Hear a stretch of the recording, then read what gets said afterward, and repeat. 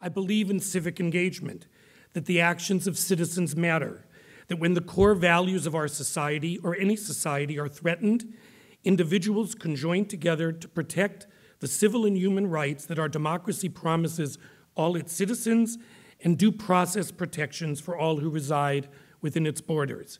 You have been invited here because we believe that popular protest requires passion to be effective, but also planning, organizing, training, and discipline.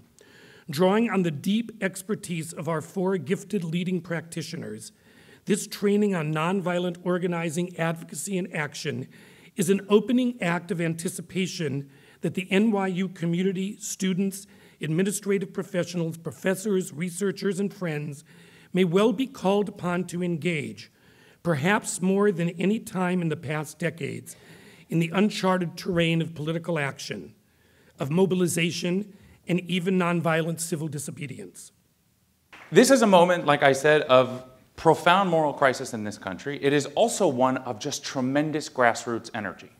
We have folks showing up in a way that certainly I've never seen in my organizing lifetime. And that's amazing. The question is how do we develop an effective organizing strategy?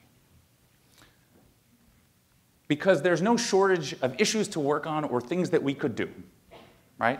I'm sure many folks here, you know, if we think about the things that have happened in the last few weeks and months, we think about issues that we care about. So the first thing I'm going to encourage you to do in terms of how to engage effectively in this moment is to think about what issue moves you most. From there, once you've done that, I'm going to suggest do some due diligence. There are a lot of amazing organizations. New York is blessed with a bounty of amazing grassroots organizations. I just put a smattering of them up on, the, up on this slide. So I'm here for Make the Road New York. We're an immigrant rights organization, an organization like New York Communities for Change, which works with us on a number of issues. If you care about inequality, the fight against uh, corporations taking over our government, then maybe you should check out NYCC. You're going to hear from the NYCLU. You're going to hear, well, I don't think we're going to hear from Planned Parenthood for today, but I encourage you to think about who's already engaged in this space and what are they doing? A lot of people are mad as hell, right? And we have to channel that towards a concrete goal. We have to think about what is it that we want to achieve? What is the, and we have to be as specific as we can. This photograph comes from a march that our members decided to hold immediately after the election. They held it five days after the election. There were 15,000 people who showed up in Midtown and it was to say, aquí estamos y no nos vamos. We're here and we're not going anywhere. And the goal for our membership, particularly on the issue of immigration, we work on a lot of issues, but on the issue of immigration is we are going to fight for our families, and our goal is to keep families together. And when you're thinking about your goals and how to achieve them, we have to think about power. Who, and this could be individuals or entities, who has the ability to influence events and to influence other people? We also have power, right? What the people have demonstrated in the streets and at town halls and in the courtroom have demonstrated in the past month is that there's a lot of bad stuff coming out of Washington, but we can also win because there's a certain power in the people. So when you're thinking about your issue and you've identified what your goal is going to be, my suggestion is to think about a matrix like this and to do a power analysis. So we're going to try to understand power, and that's going to inform the strategy that we have and the targets. So we may say we want to think about who is in our neck of the woods. So you want to think about your targets, and you also want to think about what your strategy is. And by strategy, saying we're going to hold a protest is not a strategy. It's a tactic. And we're going to hear more about the tactics that we want to use. The strategy is how do we achieve our organizing ends? How can we move our targets to achieve the ends that we see as beneficial to our societies and our to our society and our communities? And it might be that you think, okay, I know this particular target who's critical to my campaign, and I know that she responds to corporate pressure. She cares a lot about companies. She cares a lot about finance. And that might lead me to develop a strategy that's focused on corporations. corporations or donors or individuals or entities who are complicit, who have said, who we can pressure to say we are against this and to exercise or to utilize the pressure that they have to move our targets. And what I want you to encourage, I want to encourage you in your own organizing to think about how do we create interdependent structures of leadership that are resilient, that have people with, with real roles and who are working and empowering other people. So you have a web of folks who are organizing together. When organizing for human rights, those people whose rights are in question are the only ones who have an urgent and abiding interest in ending those abuses. Importantly, they're the only ones who know the insidious ways that these abuses happen in regularized fashion and know how to correct them. Therefore, by necessity, if we're going to be effective, those are the people that need to be in the driving seat. What do you need to do? You need to engage them. So, how do you go about doing that? Well, first of all, you're going to need some educational materials in a style and language that makes sense for each constituency. The kind of materials you're going to put before the Episcopal Church aren't the same that you'll necessarily use to motivate the campus greens. It's best to have constituent leaders to help you develop those materials collaborative. That way, it will make sense in terms of resources, language, and format. Some of this is going to be hard copy, some of it's going to be electronic. Of course, by now you all know you need a website or something out there to host your materials, to feature your news, to allow people to sign up and show their support. And while incredible online organizing we have all witnessed, especially in recent years, I want to stress that if you're really about changing things over the long haul, you need to sit down with people face to face. You want to meet them face to face. So, organizing is bringing people together, but mobilizing is about moving people to act together. As you're preparing for an action, do some prep on media in that area, especially. And you don't have to hit the New York Times. You want to look locally. Do a story about the preparation for the action. That can help advertise what's coming and let people know this fabulous event is going to happen and attract even more people to the work. Now, the great thing is when people see you on the move in an action, they get attracted to it. And so, in the midst of whatever your direct action is that you're doing, be sure to have ways to sign people up. When you're thinking about something as involved as moving that many people over 14 days, over many miles, and some of you will think of other different sorts of actions that are involved, you have to take seriously your route, the time, the timings of how far you're going or you're not going to make it where you're going, the order of the program, rest stops, food, sleeping arrangements. Look at all those logistics up there, right? You've got to think about that when you're planning a big action. Permits, please start early. This process can often take a while. Identify one person from your organization to be your lead liaison.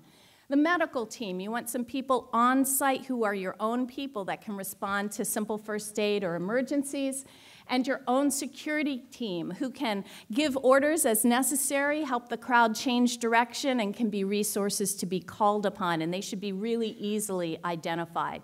Now, if you're planning civil disobedience, I'm going to let my next, the next speaker um, after, excuse me, the final speaker deal with that piece because that's complex. But let me say, if you're planning to go to jail or you're planning to get arrested, you need to think it all the way through, have a plan in place we have an opportunity to think back over our history in the United States, to not think that we are the first to ever try to do something new. From following the North Star to hunger strikers who went to prison for women's suffrage, from the Edmund Pettus Bridge to Stonewall, we know our ancestors have been there before us. So if we ever doubt that we can make a difference, if we wonder whether it's possible, remember, we have, we can, and we will. Thank you. So, what we've developed at the Opportunity Agenda is what we call VPSA. Can you say that with me? You guys are so good. So, what VPSA stands for is Value, Problem, Solution, Action. Because the number one problem that people do is actually by leading with the problem. We don't start with values. And then we don't give people something to do. We don't talk about the solutions. We don't talk about not only a systemic problem, but a systemic solution to that problem and how we can move it forward. But through VPSA, not only can we ground ourselves in values, but we can also tell an affirmative story. We want to talk about positive stories, positive alternatives to the thing that we're fighting against, to the thing that we're working towards, to the country that we actually want to be. I mean, how many of you feel that we're at a critical moment in this country's history where we can actually espouse to those values that our founding fathers claimed to purport, or we could roll back. We can go right back to where we started. Who do we want to be? So let's break down VPSA a little bit. So the value, the value is essentially why should somebody care about your issue? Like, how are you going to convince somebody to come over to your side, whether it's your representative, whether it's a family member, with those difficult conversations that we have at family gatherings and Christmas and Thanksgiving and Hanukkah, or it could be someone on social media that you're reaching out to. Why should they care about what you're talking about? They may not feel a personal connection to that story, but let's invite them in. Then we have to talk about the problem. How are we falling short of this value that you have associated with the problem? Why does it matter? Who is implicated in this problem? who are the people who are affected by it, and who are the policymakers that we can assign responsibility to? Who are the players that we should be holding accountable to find solutions to this problem? So, the solutions. You have a systemic problem, you have to talk about the systemic solution. What's going to make this better? How can we fix this? What are you working towards specifically? What is the change that you want to see in the world? And then finally, we have to assign an action with every protest, with every single call, every petition, every single mo- movement and motion that you make towards social justice, you have to activate people. That's why they call us activists. We are activated to move towards action. And in a day and in a time where we are inundated with messages, you have to make it concrete. So I need something that's to make it simple. Make it easy for people, lower the barriers, but with every communication that you have, you have to have an action that corresponds with it. Give them something to do. So I'm to give you an example of a current movement that has been extremely successful, which is Black Lives Matter. And for me, Black Lives Matter is not only personally important, but it's a great case study for narrative in telling a story because it also shows how an online movement has moved offline and has become a part of the lexicon. You know, Black Lives Matter, if we were to think of it in a different way, is really like a brand. You know, it's something that people kind of want to be associated with now, to the point that Fayetteville, Arkansas, has a population of 80,000 people for Black History Month, put up a banner in their town square that said Black Lives Matter. Now, if that's not progress, I don't know what to tell you. so we want to make sure that we're using slogans that we're doing things with like such as Black Lives Matter that not only spark conversation, that draw in persuadables, but Black Lives Matter, it's a value. It's a value and it's an action. It's a demand that we want to live in a country where Black Lives Matter. Why do we protest? We protest because we can. Our right to protest, to demonstrate in the streets, is a critical backbone of a functioning democracy. And if we, it's only as strong as, as us going out and doing it. And it is the form of protest that they have no, and they, right, the powers that be, whoever's on your grid of ugly faced white men, um, whoever they happen to be, uh, they, have the, they have the power to put down all kinds of dissent. They have the power to pass laws that stop you at the airport. They have the power to keep you on Rikers Island. Uh, they have the power to cut off your health care, your social services. Um, but they really can't do very much when you're marching in the street. And the things that they can do always make them look bad. So in New York City, you have the right to go out into the streets as long as you stay on the sidewalk and walk with your friends or not your friends or however many people you want, and you don't have to tell anybody about it. You don't have to register, you don't have to sign up, you don't have to buy insurance, you don't have to do anything. You could literally, everyone in this room could say, we're going to march to Stonewall, and on the way, we're going to chant how great this lecture was. And that's it. You could just do it. You could do it right now. Um, the only rule being that you can't block the sidewalk. But as long as you stay on the sidewalk and you don't march on the street, and as long as you don't block the sidewalk, you're golden. This is one of the most essential and most beloved First Amendment doctrines in, in America, in the United States.